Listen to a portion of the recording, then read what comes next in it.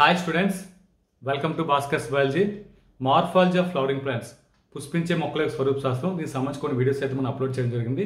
దానికి కంటిన్యూస్గా వస్తున్నటువంటి వీడియో ఓకే స్టూడెంట్స్ నా వీడియోస్ వస్తే కంపల్సరీ లైక్ చేయండి మీ ఫ్రెండ్స్కి షేర్ చేయండి. ఇంకా ఈ వీడియో చూస్తున్నా సరే నా ఛానల్ సబ్స్క్రైబ్ చేసుకోవచ్చు సబ్స్క్రైబ్ చేసుకోండి. అదేవిధంగా bell icon all option activate చేసుకుని చేసిన ప్రతి వీడియో కూడా మీకు నోటిఫికేషన్ రావడం జరుగుతుంది. ఓకే అయితే ఈ వీడియోలో మనం డిస్కస్ చేయబోయే టాపిక్ ఏంటంటే ఇక్కడ చూడొచ్చు ఎస్టివేషన్ సో ఎస్టివేషన్ అంటే ఏంటంటే చూద్దాం. ఇక్కడ చూడండి the mode of arrangement of sepals or petals in floral bud is known as aestivation most important గుర్తుపెట్టుకోవాలి. ద మోడ్ ఆఫ్ మనకి మోడ్ ఆఫ్ అరేంజ్మెంట్ ఏ అరేంజ్మెంట్ అవుతాయి? అవి సెపల్స్ అయినా అవ్వచ్చు పెటల్స్ అయినా అవ్వచ్చు. సెపల్స్ కానీ పెటల్స్ కానీ ఎప్పుడు ఫ్లోరల్ బడ్ అంటే ఫ్లవర్ బడ్ స్టేజ్లో ఉన్నప్పుడు అంటే ఓపెనింగ్ అవుతున్నప్పుడు బడ్ స్టేజ్లో ఉన్నప్పుడు మనకి సెపల్స్ కానీ పెటల్స్ కానీ అరేంజ్మెంట్ అంటే ఒక మోడ్లు ఆ అరేంజ్మెంట్నే మనం ఏంటంటే ఎస్టివేషన్ చెప్పడం జరుగుతుంది సో ఈ టైప్స్ చెప్పుకుంటే మీకు ఇంకా బెటర్గా అర్థం అవుతుంది. చూడండి first the main types of aestivation as మనకి ఏంటి వాల్వేట్ ఒకటి ఇచ్చారు ట్విస్టెడ్ ఒకటి ఇంబ్రికేట్ ఒకటి దీంతో పాటు రెక్సెల్లరీ ఇలా మనకేంటి? One two three four types of aestivation అనేది మనకు కనిపిస్తుంది. చూడండి మళ్ళీ ఎస్టివేషన్ ఏంటంటే వాల్వేట్ ఒకటి ట్విస్టెడ్ ఒకటి ఇంబ్రికేట్ ఒకటి నెక్స్ట్ వెక్సిల్లరీ సో ఒక్కో దాని గురించి మనం ఒకసారి చూద్దాం. సో ఫస్ట్ ఆఫ్ ఆల్ వాల్వేట్కి వచ్చేసరికి వస్తే చూడండి వెన్ సెపల్స్ ఆర్ పెటల్స్ మనం ఏదైనా చెప్పుకోవచ్చు. సెపల్స్ అని పెట్టుకోవచ్చు చెప్పొచ్చు లేదా పెటల్స్ అని చెప్పుకోవచ్చు సో మాక్సిమం పెటల్స్ అనేది మనకి ఇక్కడైతే బెటర్గా కనిపిస్తుంది. సో ఇక్కడ పెటల్స్ తీసుకుంటే in whorl just touch one another at a margin without overlapping as కా యాజ్ ఇన్ ఎందుకు చూపిస్తాం మనం? కెలోట్రాపిస్ కెలోట్రాపిస్ జిల్లెడ్ ఏదైతే ఉందో జిల్లెడ్ మనకి బడ్స్ ఉన్న ఫ్లవర్ చూస్తే మీకు బెటర్గా ఉంటుంది. దీన్ని మనం వాల్వేట్ అంటాం. ఒకసారి మన డయాగ్రామ్లో దీన్ని ఎక్స్ప్లెయిన్ చేసుకుంటూ వెళ్దాం. ఇక్కడ చూడొచ్చు ఈ డయాగ్రామ్లో ఇదొక ఒక ఫర్ ఎగ్జాంపుల్ మనకి పెటల్స్ అనుకుందాం. ఇదొక పెటలు ఇదొక పెటలు ఇదొక పెటలు ఇదొక పెటలు ఇదొక మొత్తం ఫైవ్ పెటల్స్ ఉన్నాయి. ఈ పెటల్స్ అన్ని కూడా మనకి whorls just touch one one another at the margin without just touch అయిన దగ్గర దగ్గర ఉంటాయి ఓవర్ ల్యాప్ ఓవర్ ల్యాప్ అంటే ఒకదాని మీద ఒకటి ఒకటి ఎక్కేసి ఒకటి అంటే ఇలాగా ఒకదాని పైన ఒకటి ఉన్నట్టుగా ఉండవు. సో జస్ట్ దగ్గరగా దగ్గరగా మ్యాక్సిమం టచ్ అవుతున్నట్టుగా మనకి రావడం జరుగుతుంది. ఇలా ఉన్న దాన్ని మనం ఏంటంటే మనం వాల్వేట్ అని చెప్పడం జరుగుతుంది. గుర్తుపెట్టుకోండి. అంటే ఇందులో ఉన్నట్టు సెపల్స్ అవ్వచ్చు పెటల్స్ అవ్వచ్చు ఇవి జస్ట్ ఒకదానికి ఒకటి టచ్ అవుతున్నట్టు ఉంటాయి అంతే. Without overlapping most important point overlapping అనేది వీటిలో కనిపించదు. ఇది మనకి ఫస్ట్ ఎగ్జాంపుల్ ఏంటంటే కెలోట్రాపిస్ చెప్పుకోవచ్చు. సెకండ్ చూడండి. One margin of the the over overlaps that of the next one and so on as in China rose మన చైనా రోజ్ అంటే హైబిస్కస్ మందారు చెప్పుకుంటాం అదే మనకి లేడీస్ ఫింగర్స్ లేదా కాటన్. ఇవి మంచి వీటిలో మనం ట్విస్టర్ అంటాం. ఇక్కడ చూడండి ఒకదానికొకటి ఓవర్లాప్ అవుతుంది. ఒక ఎండ్ ఇంకొక ఎండ్కి ఓవర్లాప్ అవ్వడం జరుగుతుంది. చూడండి in one margin of the appendages overlaps that of the next one for example ఇది ఉంది ఇది ఏమవుతుందంటే ఈ నెక్స్ట్ దాని తర్వాత దాన్ని దీన్ని ఓవర్లాప్ చేస్తుంది. అంటే ఇది కింద ఉంది ఇది పైన ఉంది. మళ్ళీ ఇది తర్వాత చూస్తే ఇది మళ్ళీ దీని నెక్స్ట్ దాన్ని మళ్ళీ ఓవర్లాప్ చేస్తుంది. ఇది మళ్ళీ దీన్ని నెక్స్ట్ దాన్ని ఓవర్లాప్ చేస్తుంది. ఇది మళ్ళీ ఏమవుతుంది? దాని నెక్స్ట్ ఓవర్ ఓవర్లాప్ ఇలా మనకు ఒకదానికి ఒకటి వన్ సైడ్ ఇంకో సైడ్ ఏమవుతుంది అందరి సైడ్కి వచ్చేసరికి అంటే ఒకదానికి ఒకటి ఓవర్లాప్ అవుతూ ఉంటాయి. పై దాంట్లో ఓవర్ ల్యాపింగ్ కనిపిస్తుంది ఫస్ట్ దానిలో వాల్వేట్లో కానీ ట్విస్టెడ్కి వచ్చేసరికి ప్రతిదీ కూడా ఓవర్ ల్యాప్ అవుతుంది నెక్స్ట్ వన్తో మనకు ఓవర్ ల్యాప్ అవడం జరుగుతుంది. ఇలా ఉన్నదాన్ని మనం ఏంటంటే ట్విస్టెడ్ అని చెప్పడం జరుగుతుంది.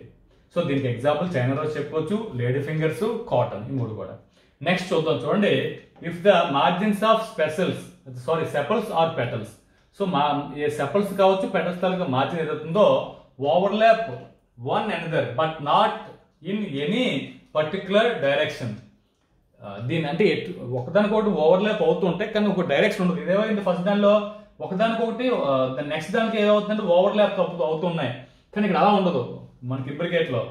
ఏదో ఒక అంటే ఒకదానికొకటి ఓవర్లాప్ అవుతున్నట్టు ఉంటాయి కానీ ఒక పర్టికులర్గా ఒక ప్యాటర్న్ అంటూ కూడా వీటిలో ఒక పర్టికులర్ డైరెక్షన్ అంటూ కూడా వీటిలో కనిపిస్తుంది దీనికి ఎగ్జాంపుల్ క్యాషియా ఒకటి మన గుల్మోహర్. ఇందులో చూడండి ఒక ఫర్ ఎగ్జాంపుల్ ఇది ఉంది. ఈ రెండింటిని ఓవర్లాప్ చేస్తుంది.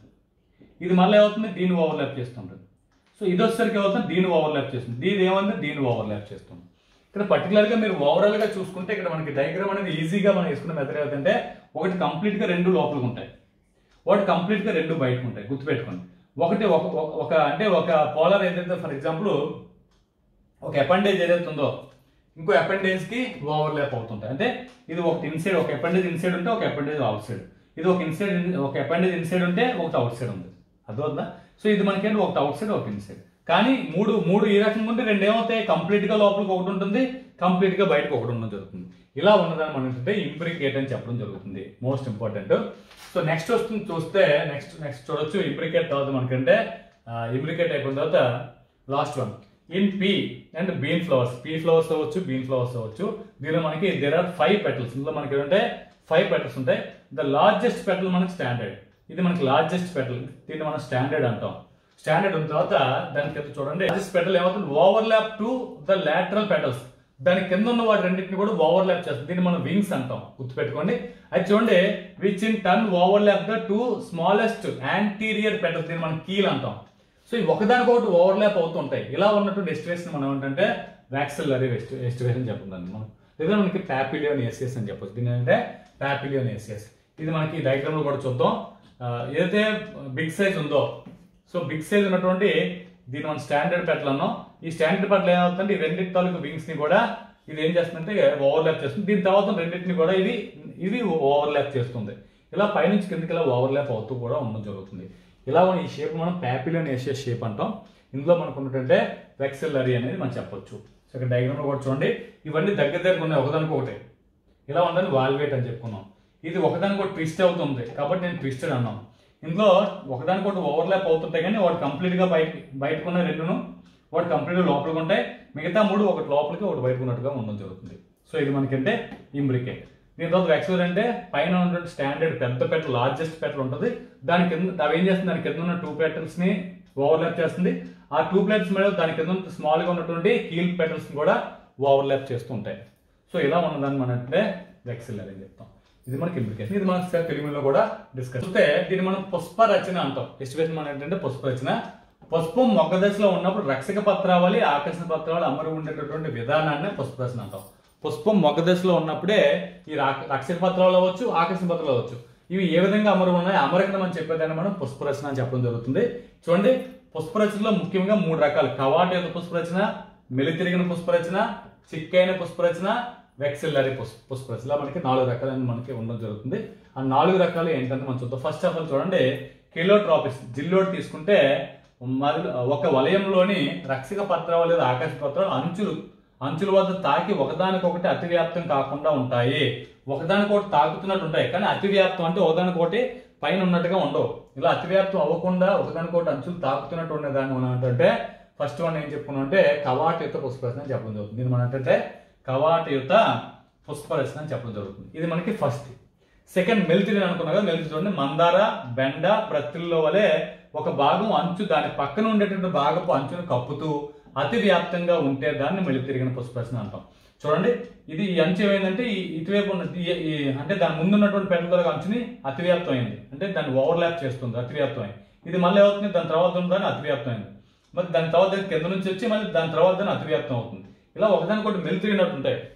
కాబట్టి దీన్ని మనం మెలితిరిగిన పుష్పరచన అని చెప్పడం జరుగుతుంది సో నెక్స్ట్ వస్తుంది చూడండి క్యాషియా ఒకటి గుల్మోహర్. దీంట్లో మనకి ఏంటంటే రక్షపత్రాలు కానీ ఆకర్షపత్రాలు కానీ అంచులు ఏదో ఒక దిశలో కాకుండా ఒకదానికొకటి అతివ్యాప్తం ఉంటాయి. ఏదో ఒక దిశను కాదు మొత్తం ఒకదానితో ఒకటి అతివ్యాప్తం ఉంటాయి.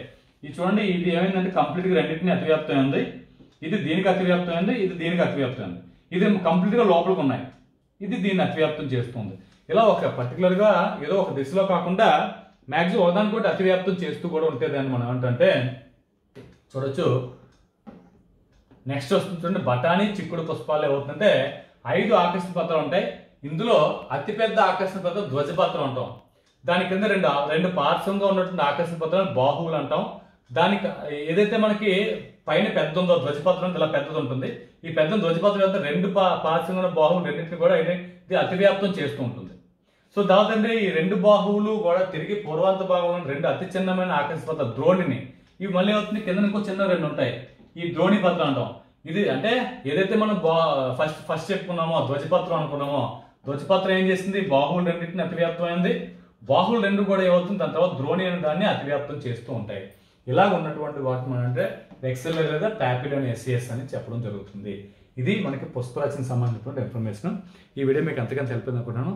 నచ్చితే లైక్ చేయండి షేర్ చేయండి నా ఛానల్ సబ్స్క్రైబ్ చేసుకోండి. Thanks for watching thank you very much